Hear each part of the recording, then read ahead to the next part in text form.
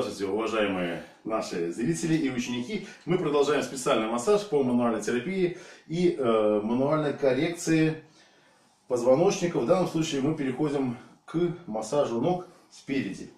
Естественно, оголяем ту часть ноги рабочую, который, с которой будем сейчас проводить все манипуляции. Э, массажные действия под коленки подкладываем валик, для того, чтобы расслабить мышцы пресса и э, паховые мышцы, чтобы не напрягались. То есть нога полностью расслабленно лежит. Э, поскольку некоторые говорят, что ну, вот человек должен быть либо в стрингах, да, либо такие есть специальные медицинские трусики продаются для массажистов. В смысле, не для массажистов, для, для пациентов-массажистов. Э, некоторые говорят, что мышцы ног не надо массировать спереди, потому что мы сзади их уже отмассировали. Тем более в голень это практически кость, что ее массировать. А на самом деле тут кое-что есть, и сейчас я вам эти секреты стараюсь продемонстрировать. И продемонстрировать мы сделаем в одном видеоролике, чтобы не разбивать это все на сеты. Поэтому мы смазали всю ногу целиком, да. А, растираем ее быстренько от голеностопа до самого верха спиралевидными движениями, продолжительными движениями, поперечными движениями.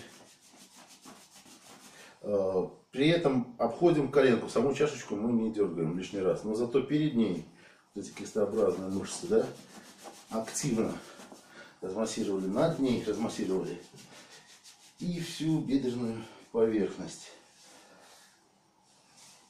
А, особое внимание стоит уделить портняжной мышце.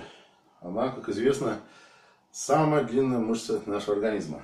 Она идет, вот крепится примерно отсюда, идет по спирали и заканчивается вот под коленной чашечкой с той стороны. Не по чашечке, а под берцовой мышцей, вот с этой стороны она крепится. То есть получается движение, с одной стороны сложное, но с другой стороны у нас как раз рука э, как ни странно, на именно это расстояние и движется. Вот такое скручивающее движение будет. Уперлись в стол, с той стороны, чтобы нога не уезжала, да? И вот отсюда, из-под коленки, ведем руку вот до сюда. Видите, она как бы заворачивается. Быстро, быстро натираем. Если нужно пожестче, можно кулачком, в принципе, вот пройтись. И далее переходим сразу к разминающим движениям. Э, прищепкообразным приемом, который мы уже делали, когда э, обрабатывали ногу сзади, отодвигаем мясо от большой берцовой косточки. Если нужно пройти, особенно вот у бегунов, у тех, кто много ходит, самое большое напряжение это вот в этих мышцах, да, то ногу разворачиваем, нет, ты сам не, не крути, Пациент должен быть полностью расслаблен, предупреждаете его, да? Поворачиваем ногу в эту сторону и проходимся по этим мышцам медленно. Там камбаловидная мышца тоже с этой стороны. Кулачками, предплечьем можно пройтись. Просто ладонью ее поразжимать. Э, доходим до коленки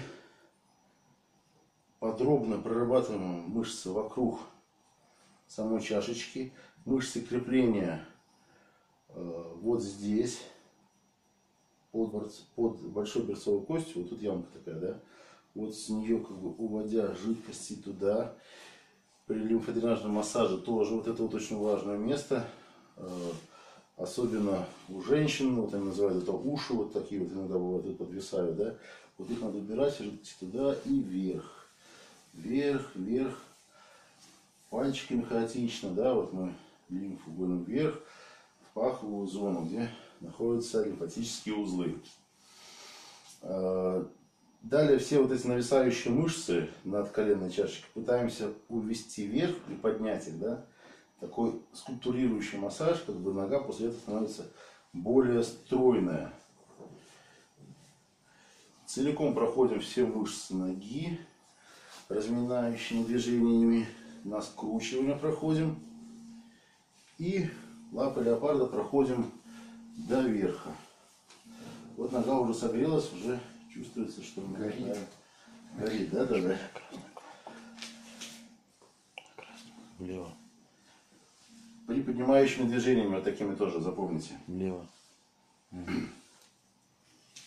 И теперь переходим к таким мануальным манипуляциям. Э, Сначала чашечку поставили 5 пальцев вот так вот, да, получается пятиугольник или вот пятиконечная звезда и по концам как бы звезды, да. Накладываем эту звезду на коленку и получается, что мы волей-неволей попадаем на аку- акупунктурные точки. Размассировали их, подергали так, пошатали чашечку и в другую сторону. Также вот на них попали. Эти мышцы, да? Точка долголетия. Сверху, да? Попали. Да-да-да, вот Точка долголетия. да, вот тут начинаются точки долголетия вот отсюда, да, они такие достаточно чувствительные. Замечательно. Их можно отдельно промять. Ну, про точки мы не будем отдельно. Просто- Мы про Удачно точки снимем отдельно видео, да? Сейчас у нас как бы немножко не об этом речь. Удачно попал, да? Вот, ну, сразу почувствовал. Удачно ты попал на, ки- на, ти- на ТВ. Так, поднимаем ногу. Потянули ее на человека, придерживая коленку, чтобы почувствовать его растяжку. Ну, растяжка достаточно серьезная, да? Есть. Если мы будем надавливать вертикально вниз, прямую ногу, да, то это идет еще воздействие на крестцово-подвздошное сочленение. Вот на вот это сочленение, оно вот начинает чуть-чуть расшатываться. Вот, где крестец и подвздошная кость. Вот это подвздошная кость. Видно, да? Иногда бывает, что человек сгибает ногу, он противоположно, да, то вам придется вот ту ногу поддержать, не, не, ты сам, сам не держи. Массажиста подержать эту ногу. Для лимфодренажа и еще в целях ну, большего лимфодренажа, да, и в целях, например, похудения и антисулитных целях делаем еще вот такой прием на полотенчика, либо на простынь, кладем его пятку, да, нога прямая, и получается у нас движение, разминающее бедро по кругу скручивающий. Здесь, как бы, вот смотрите, рука идет сюда, захватывает ткань, вторую руку можно придерживать, если коленка действительно ходит туда-сюда. И мы вот эту ткань проворачиваем, доходя до паховой области. Чувствительно. Чувствительно, да? Далее опять все вот эти вот разминающие движения. От конечности идем к центру, от периферии к центру. Вот это движение лимфатическая труба Гудвина номер три, если помните, да? И можно предплечьями также вот ее продавить до самого низа, в несколько заходов.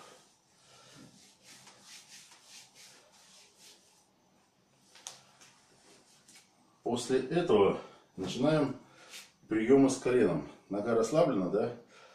Мы держим, как бы колено придерживаем, да? И пытаемся почувствовать, где вот оно там заблокировано, где куда-то нога не идет.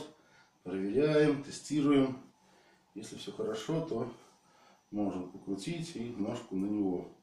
Вот так раз хрустнуло здесь, да? Вот, растянули колено. Если все-таки достаточно жесткое колено, да, можно его еще захват вот такой сделать, придерживая противоположную ногу, протянуть вот туда, как будто бы мы пытаемся посадить человека в позу лотоса. После этого можно сесть. Вот. Чувствуешь, растяжка, да, пошла? Вот, подбиваем коленку под коленку, да, и сейчас будем гнуть э, ногу вот так вот, а с второй рукой на стопу. Так, справляешься, больно что ли? Больновато. Вот. Ну, это болевой прием, да, на самом деле, если у борцов посмотрите, это болевой прием. Если болевой прием, тогда перекладываем руку сюда. Нам сейчас важно оттянуть стопу в противоположную сторону. Вот так, раз. Это лучше. Вот тут произошла Мягче, мягче. разблокировка. Мягче, Мягче, да. Ам, Поза называется газовая, потому что с полным желудком человек может произнести, провести невольные выстрелы звуковые. Подать, сиг- подать сигнал Нам тревоги. это не страшно. Подать сигнал тревоги, да. И э, еще раз хочу сказать, что обычно мы все приемы делаем с левой стороны, начинаем, да, со стороны сердца. Кроме э, того, когда э, ноги делаем спереди, да. Почему? Потому что у нас перистальтика начинается справа налево идет. По часовой стрелки работают перистальтики кишечника. А мы как раз на нее тоже делаем воздействие. Мы с этой стороны начинаем давить на весь кишечник. Вот. Так, следующий прием. Э, Вот растянули ногу так, да? Теперь ногу на него натягиваем и давим прямо в живот. А этой рукой разминаем чашечку. Дыши, дыши. Вот правильно делать, что дышит. Следующий прием. Выпрямили ногу и под 45 градусов надавили на него на противоположное подреберье. Вот туда прям. Но у нас при этом открылись хорошо вот эти вот мышцы, которые было трудно размягчить или пролезть к ним, когда человек лежал спиной вверх. Вот вокруг бедренного как раз открылся бедренный вертел, большой бедренный вертел. И мы вокруг него кулачком так достаточно жестко прорабатываем. Не хватает кулачка, можно локтями. Вот уже сразу становится покраснение. И ты чувствуешь, как тянется, да? Тянется. Прям мышцы вот эти вот тянутся, тянутся. И чувствительность. Продолжаем их натягивать вторым, ну, следующим приемом. Раскрываем ногу, только не до конца. Вот примерно под углом ну, больше 90 градусов, ну где-то 100-120 градусов, да. Положили ногу. Здесь уперлись рукой в его э, подвздошную кость, только чтобы было мягко, старайтесь не давить прямо на нее, да, а на мягкие ткани. Э, Положите руку и как бы вы ладонью обнимаете эту косточку. Обняли, а этой рукой давим в бедренные кости вперед. Растягиваем вперед получается. Эту руку назад идет, да, а это вперед.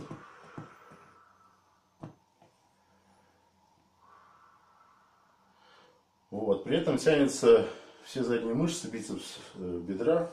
Чувствуешь, да? Вот эти Чувствуется напряжение такое. Там тянутся. Растяжка. Далее растягиваем ногу в бок. Вот растяжки в данном случае не хватает. Видите, как мышца сразу напряжена. Можно проверить, вообще есть ли у него там сила в этой ноге. Для этого тестируем. Ставим ногу, отводим под 45 градусов в бок. Под 45 градусов разворачиваем. Держись руками за стол. А сам расслабься, голова лежит. Вот, и держи так теперь ногу на весу держишь. Я буду давить вниз, а ты сопротивляйся. Ну, вот в принципе есть сила, да, но не до конца. Вот она где-то вот там проседает, но сила есть. Э, Если у человека нога сразу падает, ну, продемонстрируем, как будто вот она упала, да, не держится. Это значит, расслабляй ногу, это значит все-таки идет напряжение э, в... Все, можешь стол лежать. Напряжение идет на внутренних мышцах, которые от позвоночника э, крепятся к подвздошным костям внутри, и отсюда они крепятся к ногам. То есть нога поднимается вперед и отводится в бок. Вот как раз в бок, видите, не до конца отводится. Так, там на схемах у нас этих мышц не показано, да? Ну ладно, это я вам еще картинки пришлю, как эти мышцы выглядят. Но они идут там внутри. Чтобы до них добраться, что мы делаем? Надо вот этой косточкой бедренной, ну, давай откроем, чтобы продемонстрировать. Нога расслаблена пока, просто лежит. Вот эта косточка выпирает, видно, да? О, Давим над ней, только не в нее, потому что там узлы идут, да? А немножко над ней, как бы подбирая ткани сверху, вот туда. На косточку, да? И пытаемся пролезть поглубже, вот туда к животу. Важно, чтобы живот был пустой. Иначе просто переполненные кишки нам будут мешать. Дыши, дыши. Не больно? Чувствительно уже. Чувствительно, да? Потом Нажать потихонечку глубже, глубже добираемся. Да, животом нужно работать аккуратно, поэтому внедряемся в него не резко, а вот медленно. Пытаемся дойти глубже, глубже до вот этих мышц возле позвоночника, которые я показывал, да? Вот сюда вот мы к ним подбираемся. Вот, добрались? Спазм есть, да. Есть, да? И теперь, чтобы его больше расслабить, берем ножку и крутим, отводим. Вот, работают мышцы ноги.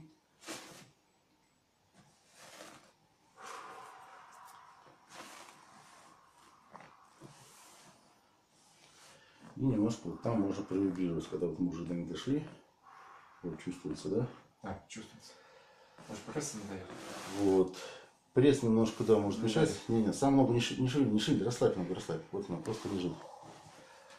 Вот эти мышцы теперь взяли, они тоже бывают болезненны, да? О, Их отдельно помассировали, чувствительно. провибрировали. Ну, как правило, достаточно 2-3 минут. Под вот этой мышцей ярко выраженной есть еще одна маленькая мышца вот здесь. Тоже какая больно, да? хорошая.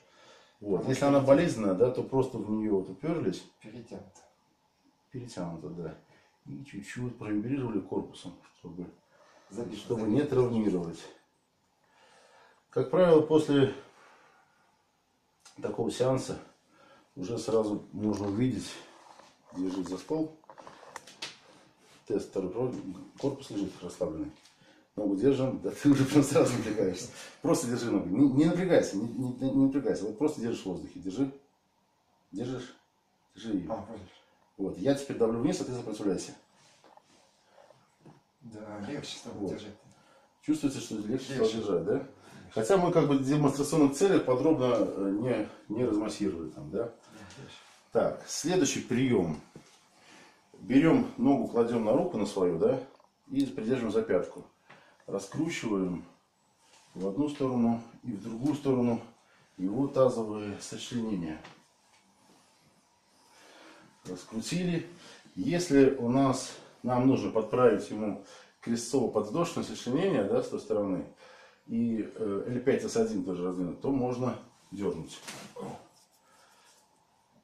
Если нам нужно крестово-подвздошное сочленение э, чуть-чуть раздвинуть друг от друга, еще раз покажем нашему Василию Ивановичу, вот эти, да, косточки, то мы э, ногу будем поворачивать вот так вот, сюда.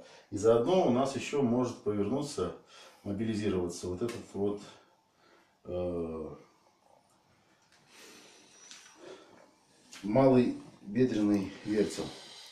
Нет, ты расслабься, ничего не делай. Расслабься. Так, расслабиться не может, чуть вот так. Ладно, я просто дем- продемонстрирую. Для этого мы смотрите, что делаем. Это вот уже вот мануальная терапия начинается. Упираемся противоположно гребень продолжим кости. Чтобы не было больно, положим руку вот так. Чуть-чуть ёкает. Больно, да? Нормально. чтобы на узлы не нажать. Мягко и мякотью ладони кладем. И стараемся расшатать эти сочленения там внутри. Расшатываем, расшатываем до той степени, пока не почувствуем, что он расслабился. И потом просто делаем резкую разводку. Напрягся, расслабься. Вот так. После было? этого да, можно услышать, как у нас мобилизировался и встал на место бедренный участок. Вот это вот шейка бедра, та, та самая, которую часто ломают.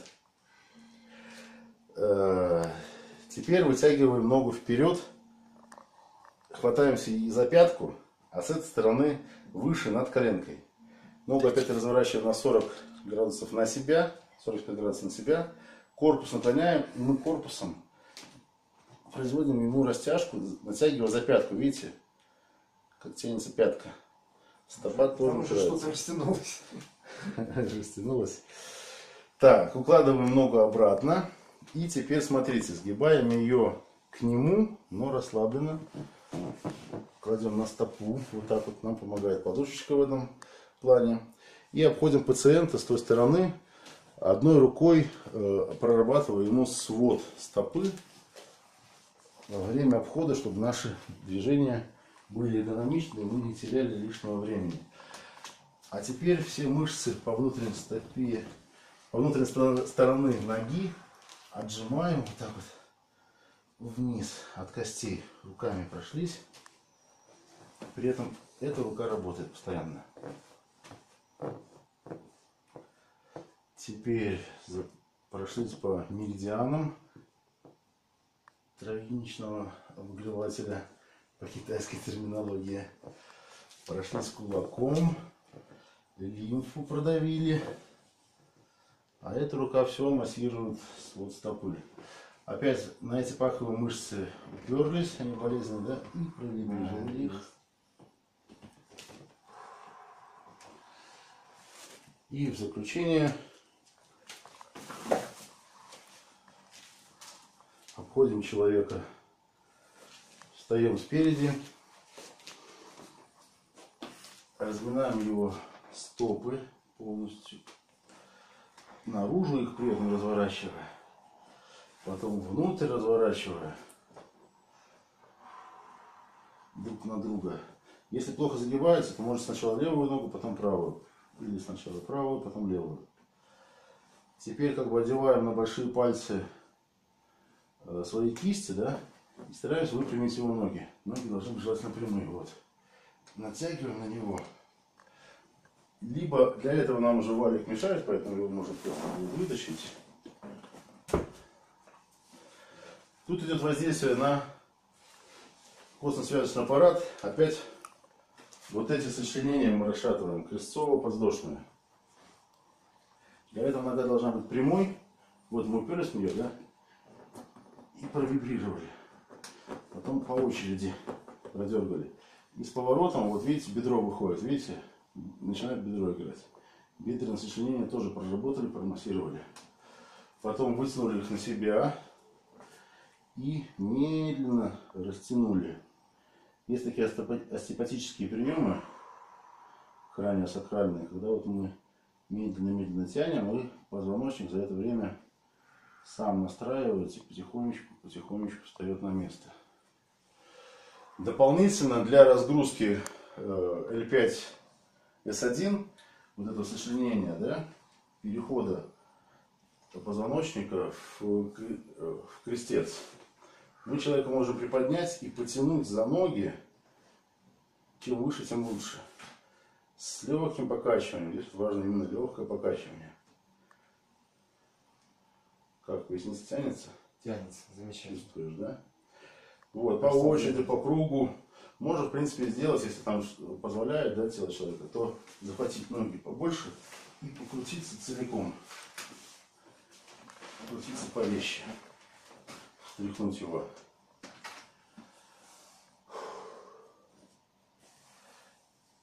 Далее есть еще такой прием, когда мы можем потянуть человека полотенцем, либо, ну если руками у вас не получается, да, как, как альтернатива, э, простыню, либо полотенцем, сворачиваем это все валиком, обнимаем голеностоп. Вот получается вот такой узелок. Тут нужно упереться ногой в стол, чтобы стол не ездил, если у кого-то скользкий, да? Человек держится за стол, либо второй человек вам помогает, держит его за грудной отдел, потому что нам сейчас важно растянуть поясницу. Схватились и тянем. Также можно повыше поиграть, пониже. И когда почувствуешь расслабление, в конце дернуть. Вот. Хорошо тебе? Да? Замечательно. Расслабление идет. Сам так не сделаешь. Сам себе, конечно, так не держишь, да. Так не делаешь. Затем люди и обращаются к нам, к специалистам, за такими мануальными приемами, которыми происходит быстрая мобилизация после связочного аппарата, уходят все функциональные блоки, и человек после ваших волшебных рук остается здоровым. Поэтому, если вы хотите научиться таким практикам, приходите к нам на тренинг коллегу Алафу Гудвину. Он вас всему научит и поставит вам руки. А смотреть видео вы можете бесконечно, но это будет бесполезно. Вы по видео ничему не научитесь. Практика и только практика, и она только здесь. До новых встреч, друзья.